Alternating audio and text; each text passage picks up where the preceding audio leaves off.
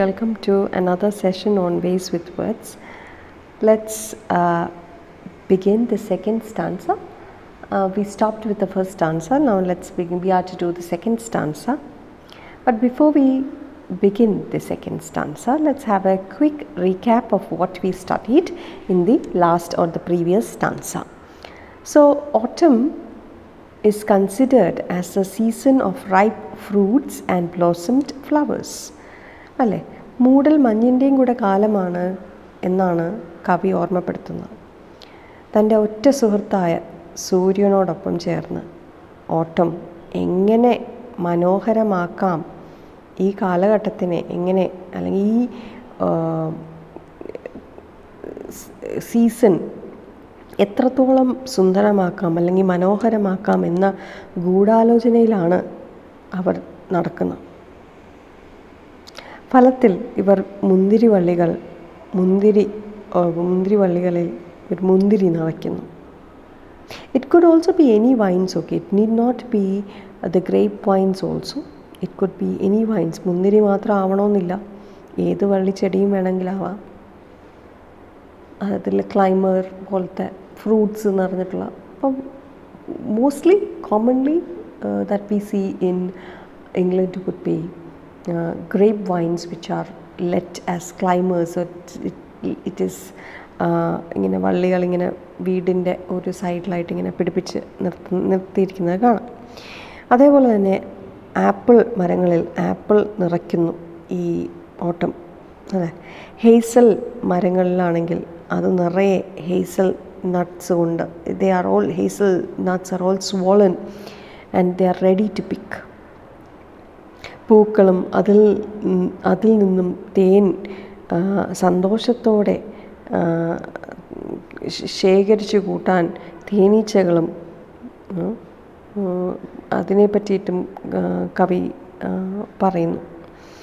ചുരുക്കി പറഞ്ഞാൽ ഒന്നാമത്തെ സ്റ്റാൻസയിൽ ഓട്ടം സീസണിൽ കാണാൻ സാധിക്കുന്ന മനോഹരമായ കാഴ്ചകൾ കീറ്റ്സ് വായനക്കാർക്ക് തന്റെ വാക്കുകളിലൂടെ കാണിച്ച് കൊടുക്കുവാണ്. ഇത്രയും ഭംഗിയായി ഓട്ടത്തിനെ വിശേഷിപ്പിക്കുന്നുണ്ടെങ്കിൽ കൂടിയും അവസാനത്തെ കുറച്ച് വരികളിൽ പോയം പോയ പോയത്തിന്റെ വരികളിൽ പോയ ഈ കവി തന്റെ വിഷയം മെല്ലെ അവതരിപ്പിച്ചു വരികയാണ്. ഇറ്റ് ഈസ് എ കോഷൻ അല്ലേ? ജാഗ്രതയായിരിക്കണം എന്നുള്ള ഒരു ഒരു കോഷനാണ് അതിനകത്ത് ലാസ്റ്റിൽ പറഞ്ഞു പോകുന്നത്? And this is done how? This is done through the mention of the overconfident bees. It is the early autumn, which is full of vitality, vigor. But all this vitality and vigor will soon decline. The bees, തേനീച്ചകളുടെ വിചാരം എന്താ ഇതെന്നും എന്നും ഇങ്ങനെ തന്നെ നിലനിൽക്കും എപ്പോഴും നിറയെ പൂക്കൾ ഉണ്ടാവും. ആ പൂക്കളിൽ നിറയെ തേനുണ്ടാവും ആ തേൻ എന്നെന്നുമായിട്ട് നമുക്ക് ശേഖരിച്ച് അവരുടെ clammy cells they can bring it in there തേനീച്ചക്കൂട്ടിലോട്ട് കൊണ്ടുവന്ന് തേൻ തേൻ കൊണ്ട് നിറയ്ക്കാം എന്നുള്ളൊരു ഓവർ കോൺഫിഡൻസ് ആണ് ആർക്കുള്ളത്? പീസ് ഓക്കെ സോ അവിടെയാണ് Keats സ്ലൈറ്റായിട്ട് slowly he bringing in a caution and what is that caution that This is also the season of decline. It is full of potentiality, it is full of vitality, it is full of vigor, but soon this season will end. It is a season of decline, it's early autumn. Very soon it will become autumn and soon it would lead to decline and decay and very soon it is the winter approaching so it is uh, fulfillment and finality and also it is associated with what it is associated with the uh, the human life cut short, right? It is associated with abundance, it is associated with um, full of energy and potentiality, full of vigor, but again, it will have its decline, it will have its end. it is not eternal. It will cease, it will end. So, this is associated with human life, human life which is very short. Again, I did tell you the reference to Thomas Chatterton, who died at a very young age and who was full of potential, was full of vitality, who, and he was considered as the first romantic poet. His poems were great, really marvelous and beautiful, but he was not accepted. He fell into the arms of depression and finally took, decided to take his own life. So, this autumn, the last lines of the autumn, the overconfident bees, which uh, is thinking about sticking or filling their clammy walls, uh, clammy cells with honey, is a reference to the human beings with full of vitality and energy, ready to accept life or ready to. Uh, or he thinks the not ready to accept life. He thinks the that this potential, this world, this life is eternal and it will continue like this just like the overconfident bees who feel that autumn season this this early autumn that is soon after summer this early autumn will never cease. And the flowers will always be flowers will be full of blue full of bloom or sorry full of nectar and they can draw nectar from the flowers. So there's a word or a caution a warning hmm, about life the unpredictable life as such in the second stanza, let's read the second stanza and then we'll move on to the second stanza. Who hath not seen thee oft amid thy store? Sometimes whoever seeks abroad may find thee sitting careless on a granny, granary floor, thy hair soft lifted by the winnowing wind, or on a half reaped furrow sound asleep, drowsed with the fume of poppies while they hook, spares the next swath and all its twined flowers. And sometimes, like a gleaner, thou dost keep steady thy laden head across a brook, or by a cider press with patient look, thou watchest the last oozings hours by hours. So, in the second stanza, Keats personifies nature and he addresses it directly as thee. Thee in Old English means you. So it is personified here. And what is personification? Personification is giving life to inanimate objects, right? Giving life like or human quality to inanimate objects. So here autumn is a season. Since autumn is a season, it is an inanimate thing. It's an idea or a, or, or a climate, the name that is given to uh, a particular season. Right? So it is, and here the poet addresses this autumn as a human being. So therefore, the literary device that is used is personification. And the personification is that of whom is that of first of all a woman. There are few personifications. He's pers- he has personified her beautifully in different places hmm, in the second stanza. First, he finds her who autumn autumn is treated as a woman as a beautiful maiden a woman okay and where she sitting she sitting sleepily carelessly sleepily കളപ്പുരയിൽ അലസമായി ഇരിക്കുന്ന ഒരു സ്ത്രീയായിട്ടാണ് ചിത്രീകരിച്ചിരിക്കുന്നത്. Granary what is gran what is a granary granary is a place where you store grain Kalappura okay so here the first is that of uh, personification is that of a woman sitting sleepily carelessly sleepily അലസമായിരിക്കുന്ന പിന്നെ grain store in a granary with what with her hair being gently lifted by the winnowing wind അല്ലേ? അവളുടെ മുടി ഇങ്ങനെ കാറ്റത്ത് അവളുടെ മുടി മൃ മൃദുവായി തലോടി പോവുകയാണ് കാറ്റ്. കേട്ടോ so her hair is gently lifted by the breeze the winnowing wind Granary floor.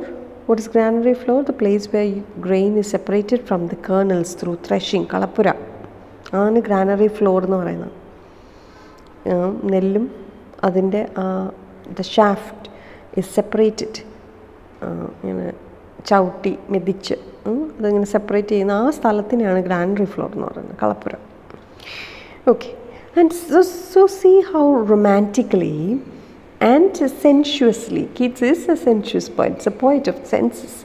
How romantically and sensuously Keats portrays autumn as a woman who sits sleepily in the granary. She could be tired, or perhaps that is why she is sleepy. She could be tired, or perhaps she is sitting there to take a short nap. So here the autumn season is personified as a woman.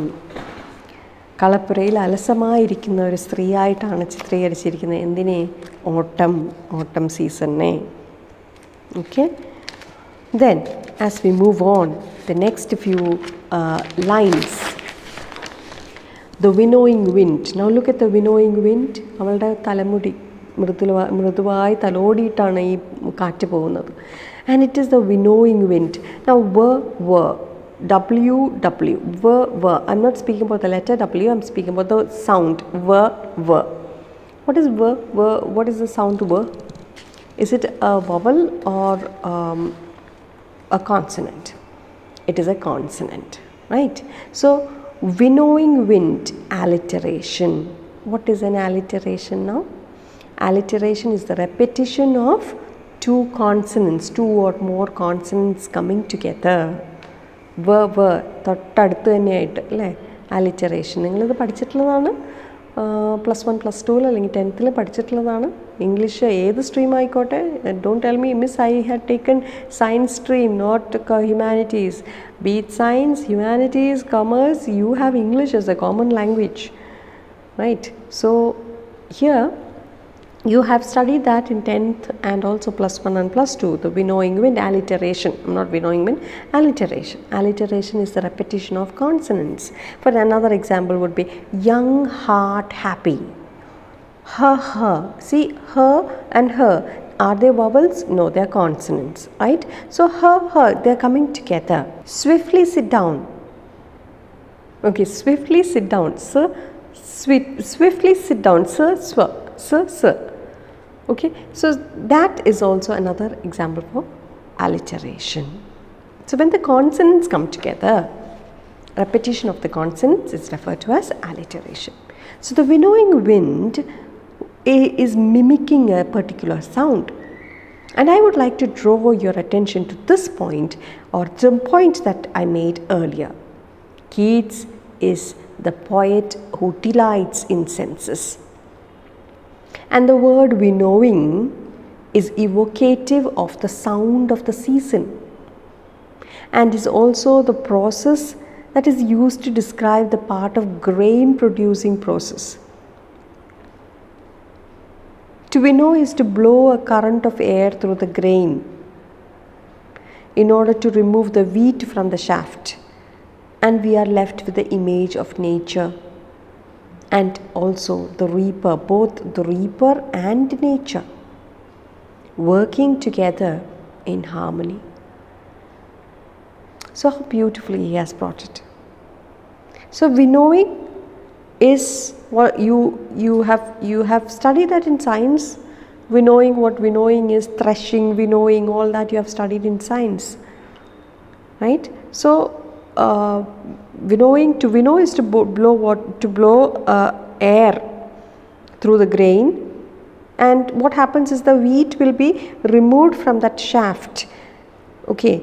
And this is actually bringing in a particular image of nature and the reaper working together in harmony. The reaper is the person who's reaping, the farmer. The reaper can also be a reference to whom to what life as such. Okay, so the nature and reaper they are both together or they are working together in uh, in harmony. But again, the mention of words like storehouses, granaries indicates that the time has moved on from the previous stanza and harvest is well underway. Right? In the first stanza, what was it about? It was the early season, the early summer, full of fruits which were not plucked, full of uh, nuts on the trees, full of blossoms. That was not the period of harvest. Now it is the period of reaping, it is the period of harvest. കൊയ്ത്തിൻ്റെ സമയമാണ് So, harvest is on the way. Although the lazy tone, there's a lazy tone and imagery of this stanza continues with the development of the previous personifications, this time the female figure, autumn, is brought. Earlier, there was a lot of, there were personifications in the first stanza. It continues also, but there is a lazy tone as well. In the second stanza, you will find a lazy tone, and the personification has changed from what we had in the first stanza, and this time we have what a woman, and she is found asleep. Okay, and not just that, in the second stanza itself, it starts with the personification again of a woman, right, who is sitting sleepily, who is sitting carelessly, where in the granary floor. So that is autumn. So next few lines also is a reference or is a personification of the autumn season itself. And in the next few lines, you will find uh, autumn found uh, sound asleep on a half reaped furrow. അത് പകുതി കുഴിച്ച് നിർത്തിയിരിക്കുന്ന ഒരു furrow what is a furrow no I just show you the picture of a furrow so that you will understand no furrow ഒരു കുഞ്ഞു കുഴി പോലൊരു സംഭവമാണ്. ടണൽ പോലെയാണ്. That is created by the plough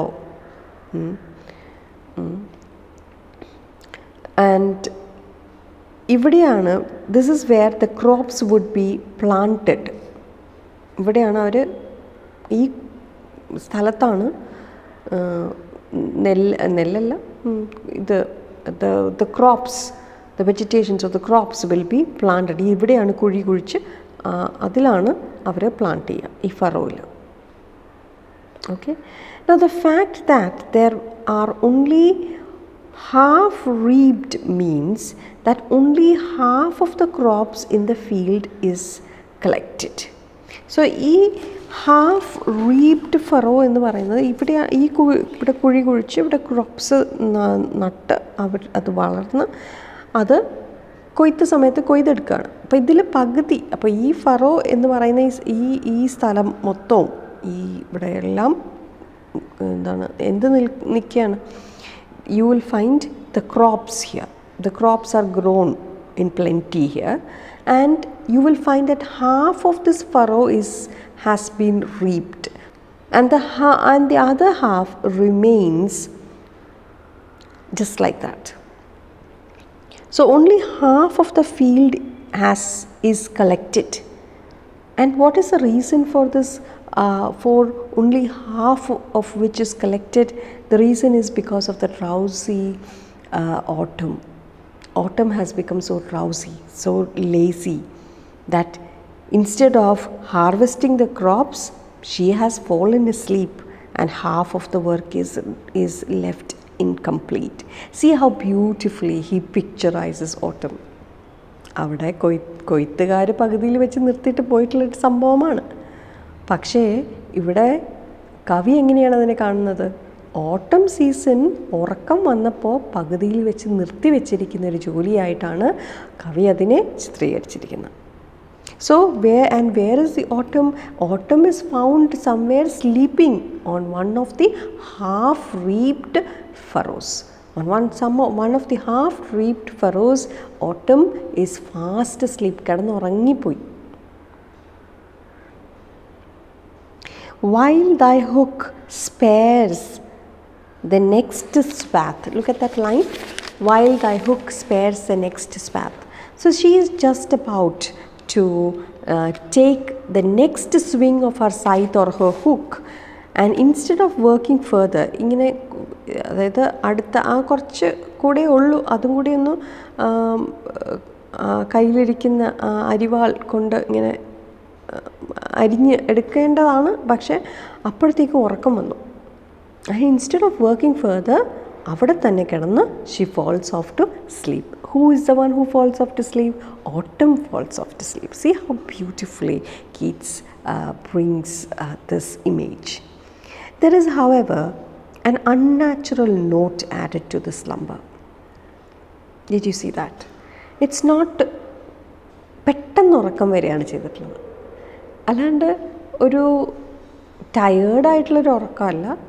ഇതിങ്ങനെ she was about to reap the next one when suddenly she falls asleep so there is an unnatural note added to this number and that we learn oh we get to understand that it is because this is a drug induced sleep the fume of poppies no what are poppies Poppies in romantic literature means opium. Opium is a drug.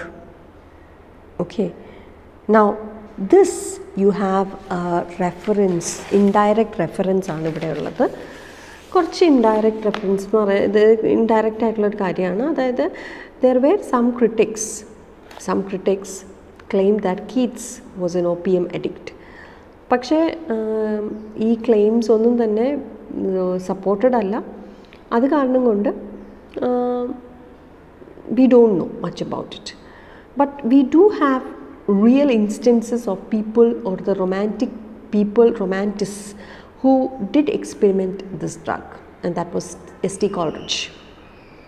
So perhaps Keats' intention, mm, we don't know whether Keats was indulged in opium uh, taking, uh, but there are some critics who say yes, but most of that again is not uh, authentic ആയിട്ടുള്ള ഒരു കാര്യമല്ല അത് കൂടുതൽ അതിനെ prove ചെയ്യാൻ പറ്റിയിട്ടില്ല അത് കാരണം കൊണ്ട് മേ ബി ഇതിനകത്ത് ചിലപ്പോൾ Keats warning തരുന്നതായിരിക്കാം maybe it was an intention his intention is perhaps warning them from indulging in this kind of activities Now, the final image in this stanza gives us the clearest indication of the moving on of time.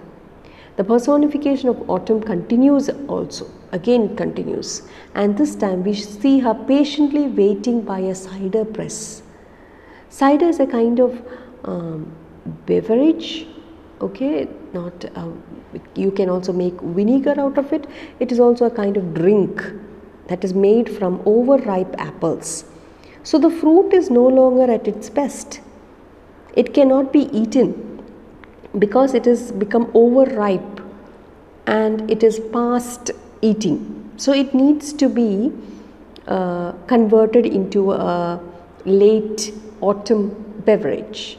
So let me now again draw your attention to the relaxed, lazy, carefree tone of this poem, where you can imagine the watching or imagine watching the slow progress of the cider press. She is sitting there, autumn season, she is sitting there and watching the cider press. The words hours after hours shows this, shows this slow progress. And also look at the word oozing. The word oozing is or brings in another sensual word which brings in a wonderful onomatopic word. It's an onomatopic word. What is onomatopoeia? What do you mean by onomatopoeia? Onomatopoeia is uh, a literary device. Uh, it is also called echoism and is both used in narrow and also broad sense. In a narrow sense, it means uh, a combination of words whose sound duplicates the sound it denotes. For example, hissing of the snake, hiss, okay, rattling of the sound, kata kata annulla rattle sound, bang, thud, thud, right, the sound, right. So, broader sense as we go into the deeper sense of poetry, it would be like I will give you a, one instance from, um, from Tennyson's poem. The moan of doves in immemorial elms and murmuring of innumerable bees, moan of doves, and murmuring of innumerable bees. Okay. So here also we have the word oozing, oozing, okay, oozing. You know, oozing is an onomatomic, onomatopic word that denotes or duplicates a sound. It uh, denotes and it's, a, it's used in a more broader sense in poetry so um, and there she is who the uh, woman the autumn season she sits uh, in the or sits by a cider press and she is looking patiently. She is looking there hours after hours watching the last oozings of the uh, cider press. So uh, autumn is personified as uh, a woman who sits carelessly in the granary floor, who is sleeping uh, on the half ribbed furrow. She's sleeping because she's been drug induced, or she is suddenly sleeping, or she is being induced by these drugs of, uh, or induced by the smell of the poppy uh, flowers, and perhaps that is the reason why she's sleeping. And uh, also, that is just just before she's uh, is about to uh, reap the uh, next mm, um, swath with its uh, with her hook or her scythe അരിവാൾ കൊണ്ടിങ്ങനെ കൊയ്യാൻ പോകുന്നേക്കാൾ മുന്നേ just മുന്നേ she falls A sleep she feels very tired and she falls A sleep and at, and another instance of uh, personification is where she is sitting uh, across a brook um, and she's looking at the cider press uh, with a patient look and she continues looking at it uh, hours after hours and watching the last oozing of these cider press. Okay, so that's with the second stanza. We'll pick it up and we'll start the uh, third stanza along with some a little more of critical analysis of the second stanza in the next video. So thank you and keep safe.